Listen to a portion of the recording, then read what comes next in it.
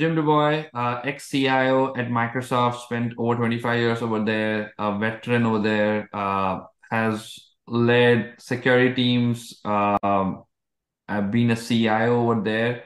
Uh, so uh, before we get started onto the topic of ChatGPT, uh, Jim, do you just want to introduce yourself in terms of your experience at Microsoft and uh, what your role was there, and recently with uh, you being board member at many other companies? Yeah, absolutely. I, you know, the I got to be at Microsoft for a long time, which was great. I got to see a lot of the the different leaders go through and and uh, see how each approached everything and and I was the chief information security officer for for several years earlier in my career. Uh, the last four years, uh, which overlapped with Satya's first four years as CEO, I was the CIO, which was a really fun time to be there as he was transforming Microsoft.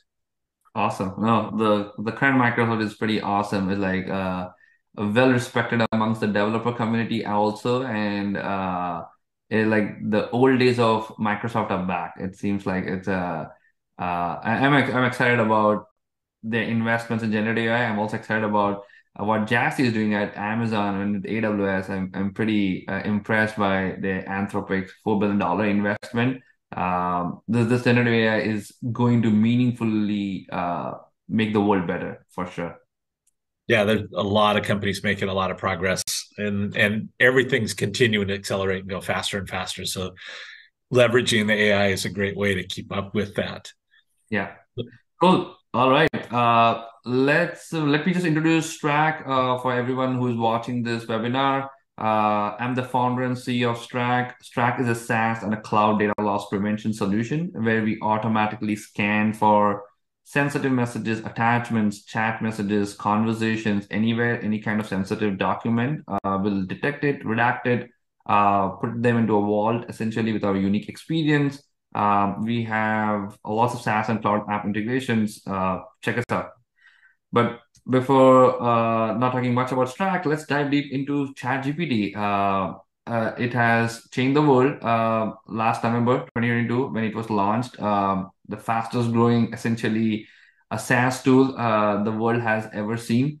Um, so, Jim, let's kick off with like all the ways in which like the world is using any any personal uh, one of your favorites using your use cases if you want to share. Uh, yeah, just uh, let's kick it off that way. Yeah, let me just take a couple minutes on this slide, which I believe you asked Chat GPT for the top five, which is great to have that put in. I think a lot of people are are leveraging from just content create, creation and editing. You know, a lot of people I've talked to are just almost helping themselves be more productive that way because you can curate what comes back from chat gpt in your voice and and leverage all of that um, on an education perspective, I use my son as an example. He's uh, in the engineering program at UW right now and uses Chat GPT to help him with his homework and assignments all the time in a way that helps him learn, of course. But uh, I, I, think that the it's complete has an opportunity to completely change the the education industry. Um, a lot of the portfolio companies I'm working with are leveraging uh, ChatGPT and, and large language models for uh, programming development. Um, in particular, there I'd say test automation is a place to start on on a, a way to leverage it. Um, customer support's another great one. This has been around for a long time, but it's gotten a lot better, a lot faster because of leveraging the the large language models um, like ChatGPT um, and and of course entertainment social interaction there's there's just so much happening in the space and and and uh, we're 100%. both having the the issues with the writer strike as you're, you're seeing they're they're worried about uh, yeah, yeah, AI yeah. Uh, having an impact but but it's also helping uh, the productivity there in a in a huge way yeah i mean in my experience as an engineer also uh I think it has improved almost every engineer's life by 10x just by like some of the concepts which were not known, you know it pretty easily. more importantly, like the code it generates is like accurate, or if not accurate, almost accurate. That uh, you need to be an engineer first, obviously, to just make sure that this is the content is generating is right, because you become a good tester for ChatGPT. Just like this content was generated by ChatGPT, I just have to make sure this is good enough for the audience over here. Uh, yeah. I think you need that level of uh, human, um, uh, what is it, governance over here. Uh, yeah. And this is doing the right thing but it has really made everyone's life more productive like i think the world is so much better like uh yes last time i was learning on some concept and like it took me like five links on google search and then i forgot oh let me ask ChatGPT. It gave me literally like so many examples, explained me well, and, and like I'm a much better person in that particular domain now than I was before. So I think that is like a huge win for everyone. Yep, and it's the the concept Microsoft uses this term copilot, but but it's helping people be better as opposed to replacing people. And if we just keep that as the, the Uber theme in this, then yeah. then we get away from some of the negatives about the yeah, the, I think I think a lot of people are talking about this replacing like humans will be replaced I mean, I don't think that's going to happen. It's going to be just make it making us more productive. Like there's so many elements of human like like the dimension, the interaction, the brain, and the aura of the human interact like this world, the way we, which we live in.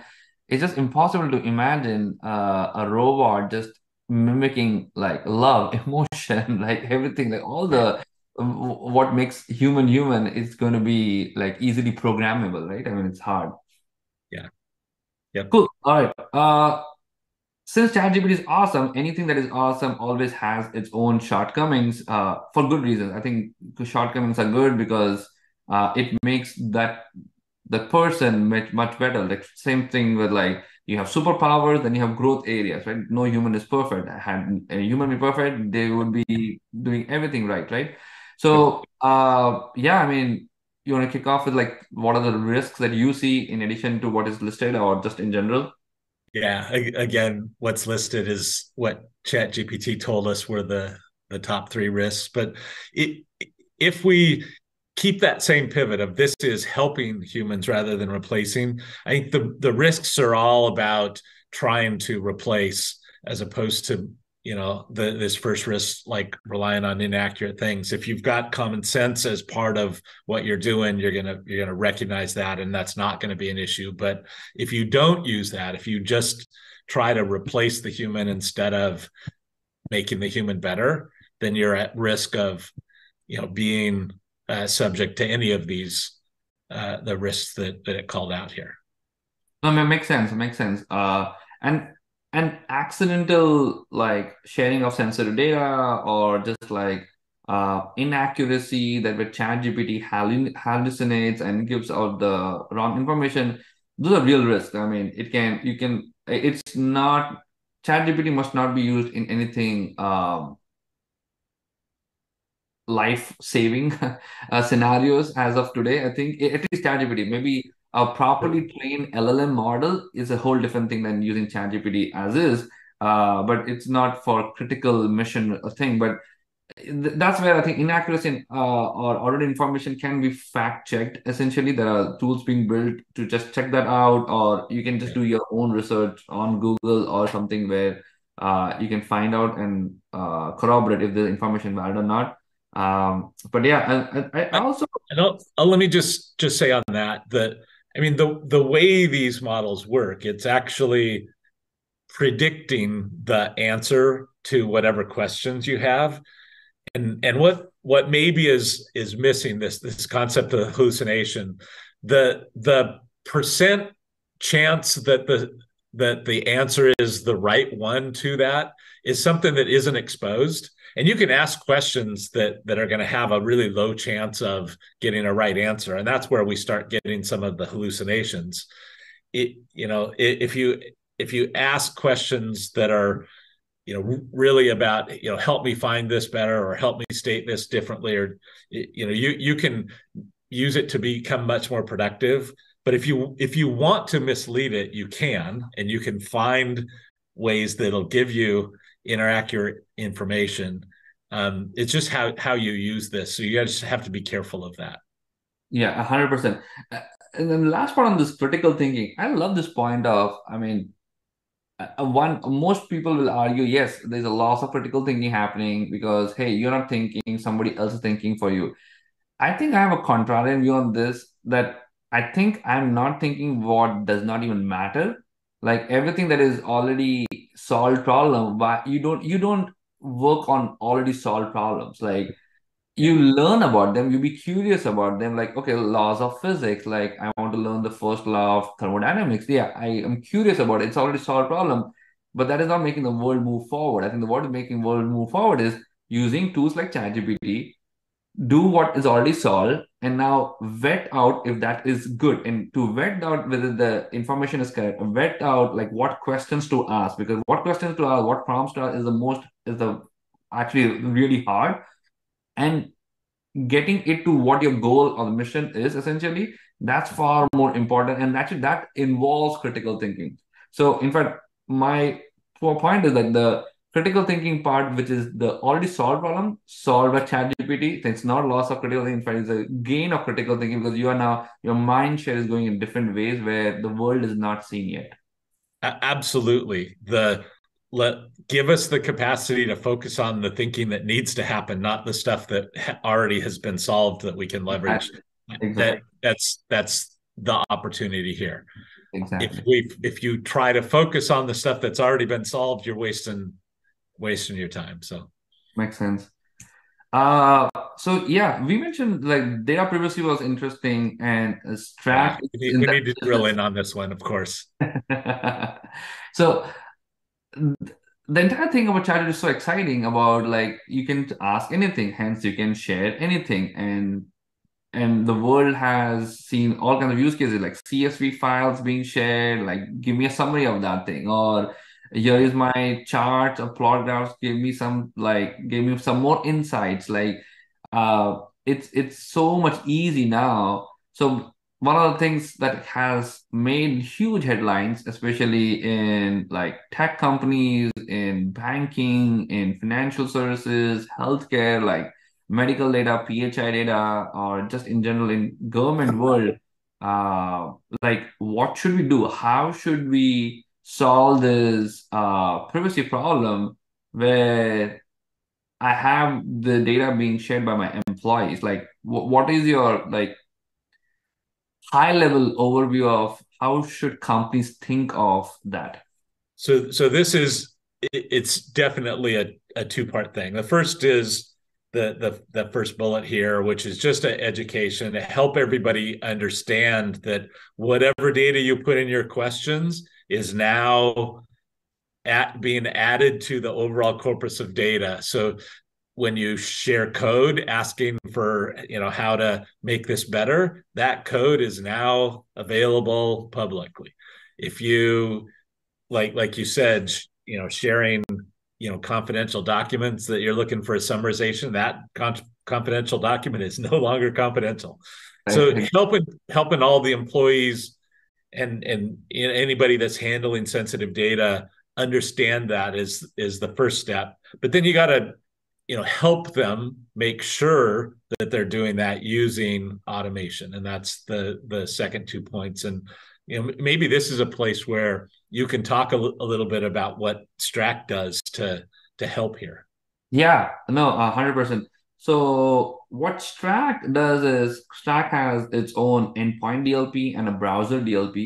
Uh, so let's take browser DLP. You're sharing some sensitive data on or something. You're not you don't know you're sharing sensitive data. Maybe it's accidental. Most mistakes are accidental. They're not malicious. Nobody's trying to maliciously feed ChatGPT. It is none that I know of.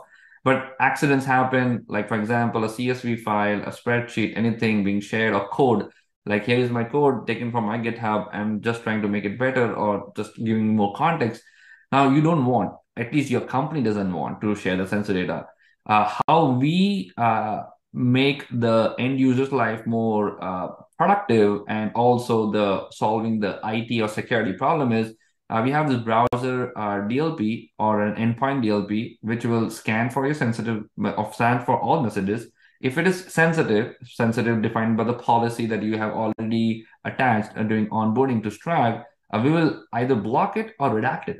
Um, by blocking, you'll get an alert saying that, hey, you shared some sensitive information and hence you will not be able to uh, send it to ChatGPT. Or redaction is actually better, where we'll redact out the sensitive parts with something pseudonyms of fake data because ChatGPT really doesn't need to care about doesn't care about what data you're sending as long as you're able to send A and it understands what A is really uh, and get back A, and then you replace A with your original data, which we do with redaction both outgoing and then incoming you replace with the original data, you can actually uh, get what your job is supposed to be done.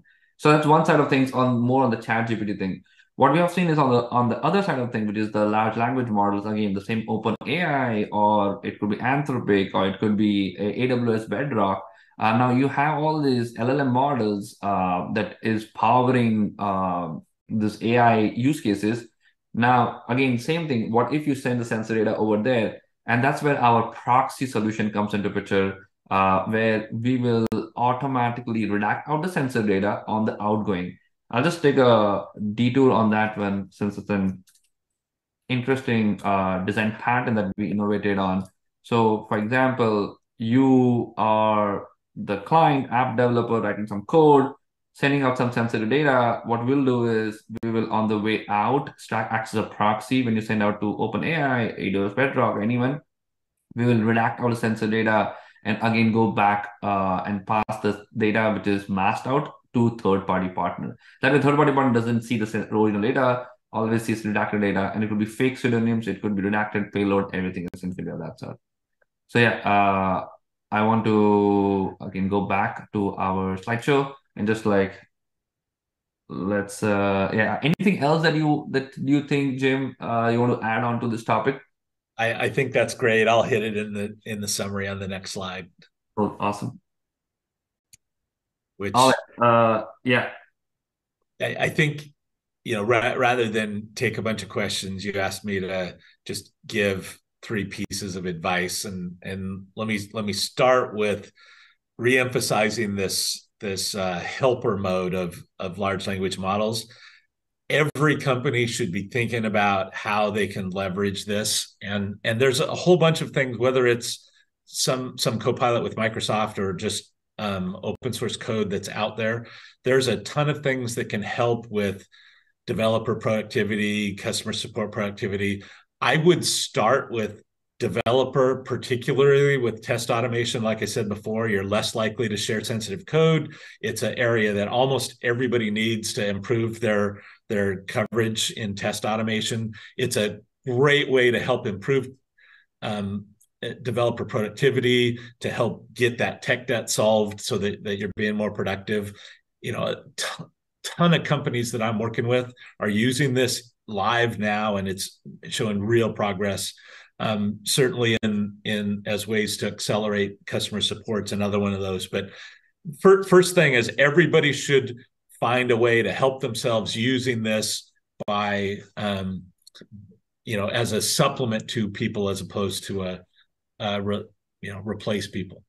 Um, the second thing is just to be aware of the the risk of of oversharing. And I I've talked to a ton of developers from different companies, e- even companies that are forbidding anybody from using ChatGPT or anything because they, you know, don't want things shared and they're trying to figure out how to do it.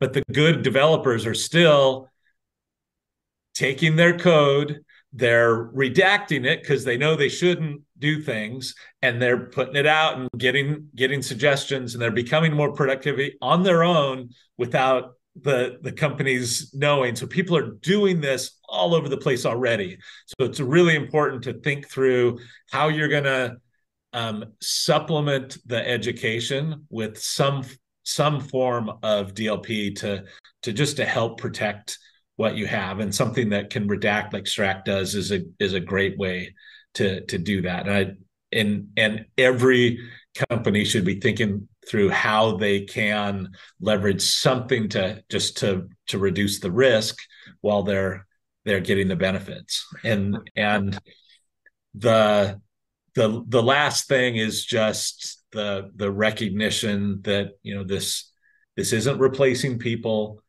that this is um, and we we can help em- employees understand this isn't something to be afraid of this is something to help you know my my son was getting a, a, hard time from his mom about using chat gpt for his homework and he he said it's just it's just like when i was doing math problems i was using exactly. a calculator it's yeah. it's solving the stuff that is already and i'm i'm able to apply my thinking to you know how to do the complex problem not the easy two plus exactly. two exactly exactly no everybody should just help that message because it'll help us do the right positive things with leveraging of these new technologies. Makes sense. Uh, love love all three pieces of advice, Jim. Uh, this is great. No, yeah. Uh, thank you so much for your time, Jim. Uh, hope uh, this was useful to you. I'm pretty sure it was, it was useful to all the viewers who are going to watch this webinar. So, uh, thank you so much once again. Great. Thanks. Bye.